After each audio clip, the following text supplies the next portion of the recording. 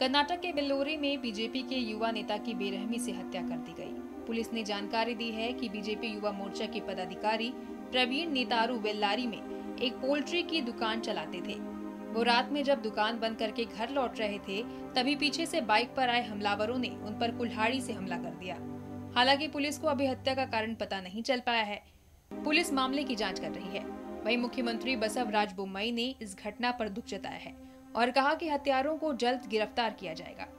वहीं प्रवीण का शव आज कड़ी सुरक्षा व्यवस्था के बीच उनके गाँव पहुँचा, जहाँ उन्हें अंतिम विदाई देने के लिए हज़ारों लोगों का हुजूम उमड़ पड़ा।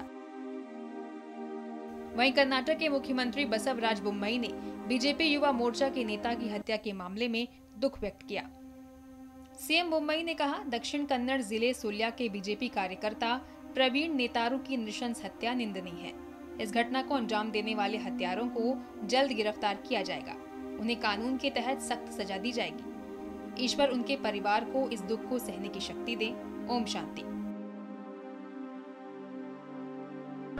In Mangalore yesterday there was an incident where Yuva Morcha office bearer has been murdered by motorcyclist immediately we have action and uh, they are trying to identify the culprits. Very soon they will be nabbed.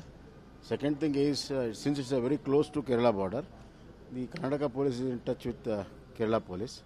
SP of uh, Mangalore has spoken to SP Kasargod and DG, I have made my DG to speak to DG Kerala and uh, very soon all it will be traced and uh, we will nab them. We have taken this as a very serious matter. At the outset it looks uh, that it was a very pre-planned attempt and uh, such uh, similarities were there in other cases. So we are studying the whole thing into entirety and then we will go to the roots of it.